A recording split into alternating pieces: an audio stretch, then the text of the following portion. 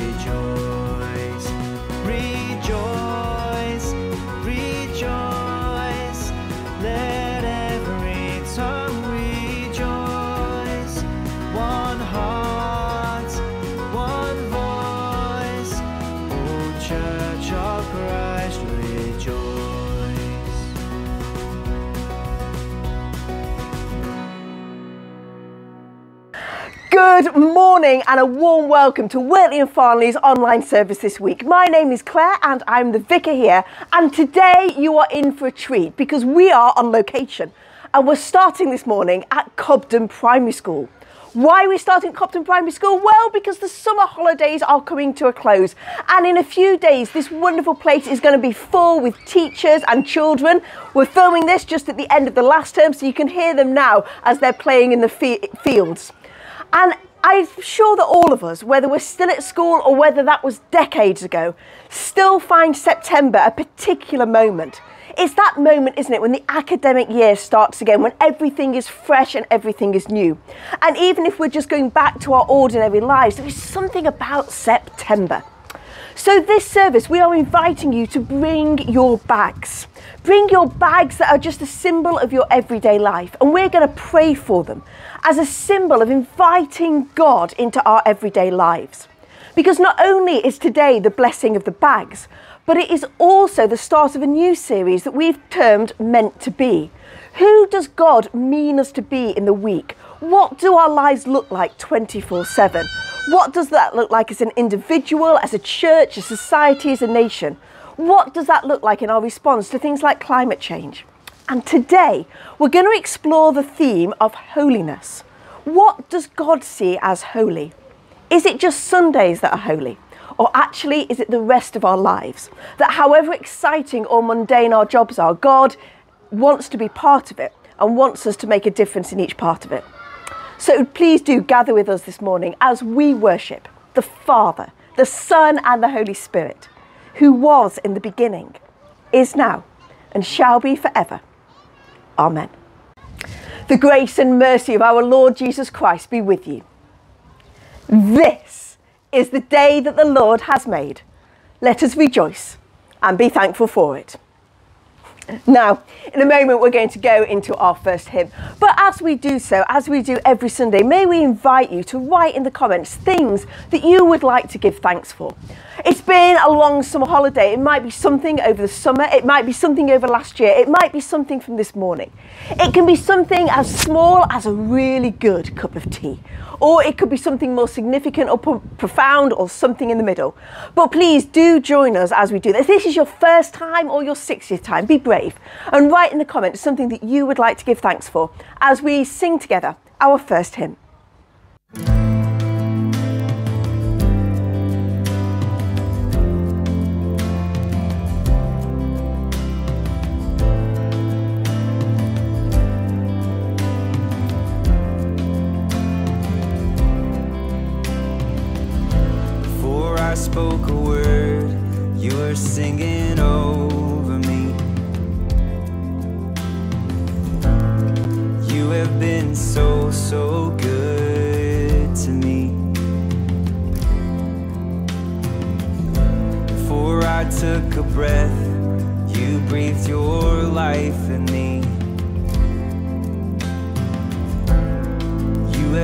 So, so kind to me.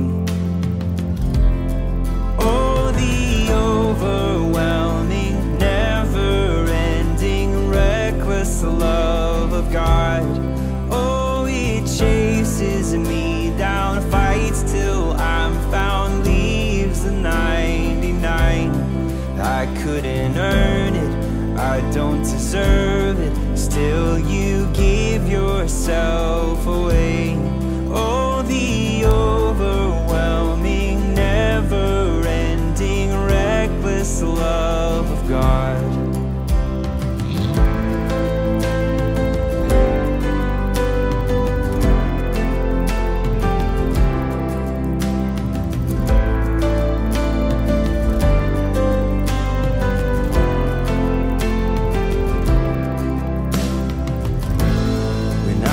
was your foe, still your love fought for me.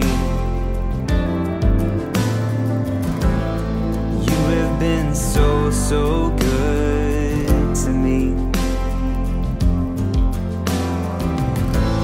When I felt no worth, you paid it all for me.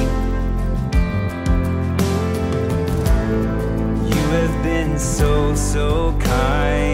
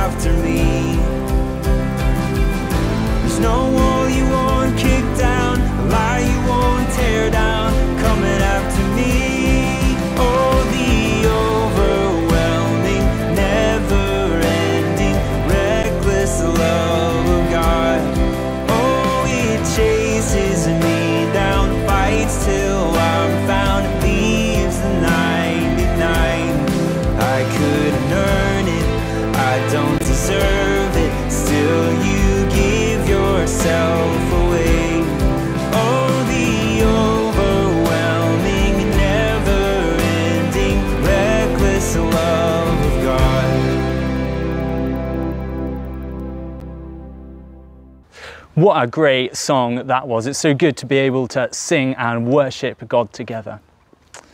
We're reminded when we're thinking about how God is with us in our everyday lives and how everything is holy, that sometimes we don't live a holy life. We're not aware that God is with us. And we call this sin, the ways in which we mess up, the ways in which we do unholy things. And so now in our confession, we come before God and we ask for His forgiveness we say sorry, and we ask for His strength to live a holy, upright, and worship filled life. So we say our confession together. Jesus Christ, risen Master and triumphant Lord, we come to you in sorrow for our sins and confess to you our weakness and unbelief. We have lived by our own strength and not by the power of your resurrection. In your mercy, forgive us. Lord, hear us and help us. We have lived by the light of our own eyes as faithless and not believing. In your mercy, forgive us. Lord, hear us and help us. We have lived for this world alone and doubted our home in heaven. In your mercy, forgive us. Lord, hear us and help us. And so may the God of power and love forgive you and free you from your sins, heal and strengthen you by His Spirit, and raise you to new life in Christ. Amen. Well, we now come to have our first reading, which is from the first letter to first letter written by Peter. Here we go. Come to him, a living stone, though rejected by mortals, yet chosen and precious in God's sight and like living stones, let yourselves be built into a spiritual house, to be a holy priesthood, to offer spiritual sacrifices acceptable to God through Jesus Christ. For it stands in Scripture See, I am laying in Zion a stone, a cornerstone, chosen and precious, and whoever believes in him will not be put to shame. To you, then, who believe, he is precious. But for those who do not believe, the stone that the builders rejected has become the very head of the corner, and a stone that makes them stumble, and a rock that makes them fall. They stumble because they disobey the word, as they were destined to do. But you are a chosen race, a royal priesthood, a holy nation, God's own people in order that you may proclaim the mighty acts of him who called you out of darkness into his marvelous light. Once you were not a people, but now you are God's people. Once you had not received mercy, but now you have received mercy. Well, I wonder if you have a list of holy jobs, uh, like with the most holy at the top and the least holy job at the bottom. Maybe at the top you have like a missionary and slightly underneath it you have a vicar um, and then underneath that maybe a doctor or a teacher and then underneath that maybe something like a butcher. Um, we're outside stevenson's butchers just around the corner. We love love love the pork pies from here. Uh, and then it gets lower and lower down and maybe right at the bottom you have um, uh, bankers and lawyers right at the bottom of your list of holy jobs or, or maybe um, in your head there are holy places, like right at the front of church by the top altar is a super, super holy place. And then as you get further away from that, it gets less holy, and maybe uh, the pub is an unholy place. Um, you know, we, ha we have these kind of lists of stuff that's holier and stuff that's less holy jobs, places, things we do. Well, I want to tell you this morning that everything is holy absolutely everything is holy. There is, as Abraham Kuyper, the Dutch Prime Minister one time and theologian said, there is not a square inch of creation over which Christ does not say, mine. Everything in the whole world is holy because God created it and over it he said, good, good, good, good, good. And then he created people and he said, very good. And he didn't just create people, but he gave us a job to do, a job to tend the garden in Eden. Because you see, work also is holy. Creation, everything in it is holy, and work is holy, which means school is holy, being at home is holy. There is not a list of holy jobs with missionary at the top and banker at the bottom. Every job is holy. Now, there probably are some that aren't working in arms manufacturing and things like that. Uh, I'm not going to say they're holy jobs, but all work is holy. The butcher's is holy, especially if they make really good pork pies. Teaching is holy. Working as a paramedic is holy. Working in an office is holy because God created it and work is good. There is not a point or place in the whole world that is more or less holy. You were given your job by God for a purpose and for a reason. He wants you there. And so, as we come to think about our bags in a moment, your bags are holy because they contain the things with which you do your job, whether that is working in a school or an office, whether that's cleaning or plumbing, or whether that is nappies and wipes to clean up after your kids. That is holy. Work is holy. Everything is holy.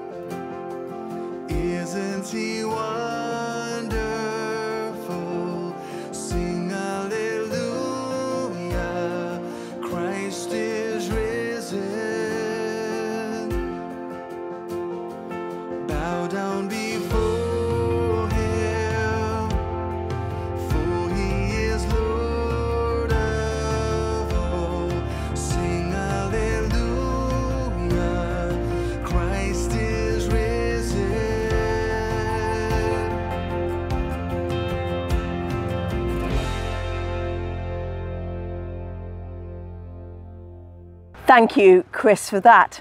And as we consider and reflect upon how every part of our life is holy, every sphere of our work is holy, so now we come together as a community to bring to God those things and people where we need His action, where we need His presence and His companionship, where we need His wisdom and insight. So just take a moment now and have a think what is on your heart? What is it that you would like to bring to God this morning? We're going to have our prayers led for us this morning. And as that happens, may I invite you once again to write in the comments those things that are on your hearts. It might be a word, a sentence, or a paragraph. But let's do that now as we bring our intercessions to God together. O God, our Creator, whose good earth is entrusted to our care and delight and tenderness, we pray. May those who sow in tears reap with shouts of joy. For all who are in captivity to debt, whose lives are cramped by fear, from which there is no turning except through abundant harvest, may those who sow in tears reap with shouts of joy. For all who depend on the earth for their daily food and fuel, whose forests are destroyed for the profits of a few, may those who sow in tears reap with shouts of joy. For all who labour in poverty, who are oppressed by unjust laws, who are banned for speaking the truth, who long for a harvest of justice, may those who sow in tears reap with shouts of joy. For all who are in captivity to greed and waste and boredom, whose harvest joy is choked with things they do not need, may those who sow in tears reap with shouts of joy. Turn us again from our captivity and restore our vision, that our mouth may be filled with laughter and our tongue with singing. Amen. Gathering our prayers and praises into one, let us pray as our Saviour taught us. Our Father in heaven, hallowed be your name. Your kingdom come, your will be done, on earth as it is in heaven. Give us today our daily bread. Forgive us our sins, as we forgive those who sin against us. Lead us not into temptation, but deliver us from evil. For the kingdom, the power, and the glory are yours, now and forever. Amen. Here we are at our moment of the blessing of the bag. So if you've got a bag near you, your, your work bag, your change bag, your school bag, your um, toolkit, whatever, why not grab it um, and uh, hold it with you. We're going to pray a prayer, of blessing over them. This doesn't do anything magical, it doesn't make them extra special, but it reminds us that God wants to bless us in our places of work, in how we spend the time in our week. He is with us 24 7, not just on a Sunday morning when we're tuning in or in the church building, but He is with us constantly and He cares for and wants to bless you in your places of work. So, why don't you grab your bag and Claire is going to pray a prayer of blessing over them. So, Father, we bring before you as a symbol of our everyday lives our bags. Lord, we thank you for the year that is ahead. For the year that has gone, Lord, we lay down those things that have troubled us, that have held us back, and we ask for you to move in them. And for the year ahead, Father, may you bless our comings and our goings. May you go before us, behind us, above and below us. May you infuse every part of our lives. That our testimony will be that we are aware of your presence in all that we do. When, the, when we're doing the washing up, when we're changing the beds, when we're looking after children, when we're doing the shopping, when we're at work, when we're dealing with colleagues, when we're dealing with customers, whatever it might be, Lord, may you be present and may we be aware of you with us. We pray that this year in Jesus' name. Amen. Amen. Well, as always, here are our notices, and I love the notices because it tells us what's going on in the life of the church. Because as we've been thinking about this morning, God isn't just interested in what we do on our Sundays between 9 and 11, He cares about how we spend the, our, the time in our weeks, what we're doing, and all this stuff, all our notices are about equipping you to go out into your week, to go and love and serve your colleagues and your neighbour. And so here are the notices. Starting this week on Wednesday, we are beginning our wellness journey course. It's a course over eight weeks exploring eight different topics of wellness, how we can be in ourselves well, exploring mental wellness, physical wellness, spiritual wellness, all that sort of stuff. That'll be happening on Zoom at half past seven on a Wednesday evening. Do check the email which your newsletter came on because the Zoom link will be there, or have a chat to Claire and I. Send us a message on Facebook, send us an email, and we would love to send you out the link to the Zoom.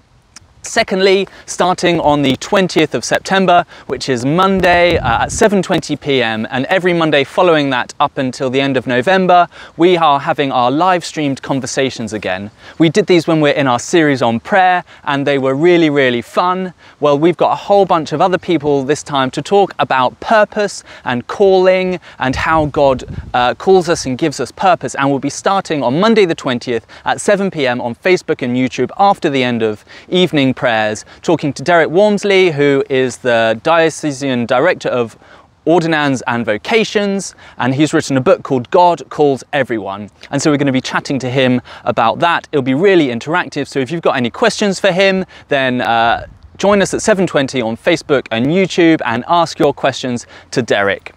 Fantastic. On the 17th of October is our Harvest Festival. This is where we gather loads of food, loads of tins good, etc. And we uh, work out how to give it to those in need, often through the crypt and other projects like that. There'll be a wonderfully big service at both our 9 and our half past 10. So if you have got, and online of course as well, we're not stopping our online stuff, but if you want to drop something off in person, then at our 9 or half past 10, or get in contact again and we'll make some time available throughout the week so that you can drop your offering off. It'll be loads of fun, lots of laughter, lots of remembering how has, God has blessed us. So do join us on the 17th of October. And then thinking a bit further ahead into November, on, uh, on the 14th of November is Remembrance Sunday. And again, all three of our services will be having some form of act of remembrance, So uh, we'd love to invite you along to that and uh, for you to join us and invite your friends as well, please. Those are all the notices. If you have forgotten any of them, if I've garbled them, uh, then do get in contact and we would love to send you out the newsletter, which is the best way to stay up to date with everything that goes on at St John's.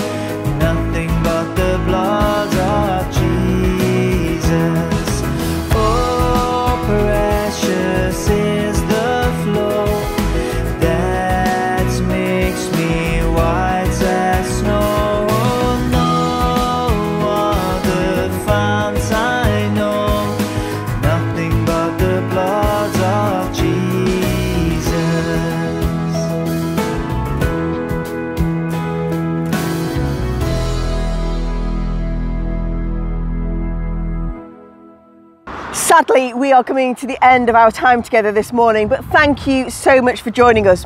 We end our service today right on a hilltop overlooking our wonderful parish and city.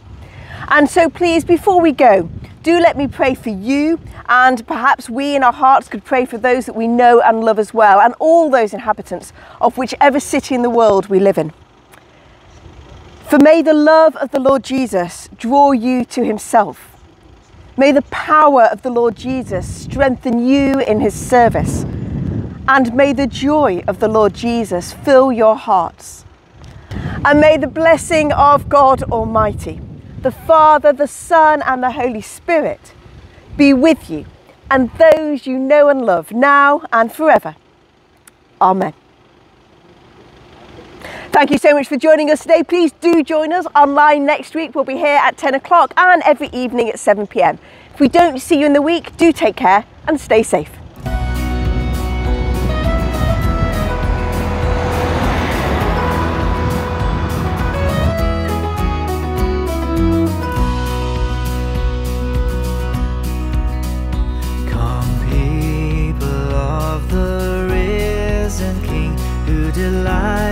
To bring him praise. Come, all, and tune your hearts to sing to the morning star of grace.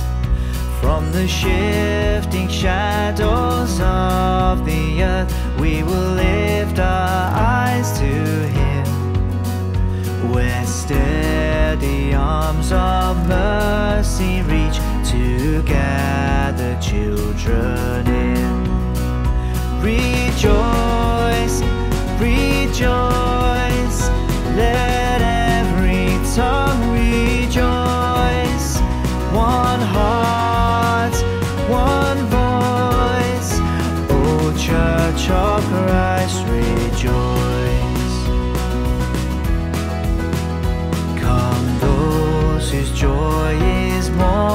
morning sun, and those weeping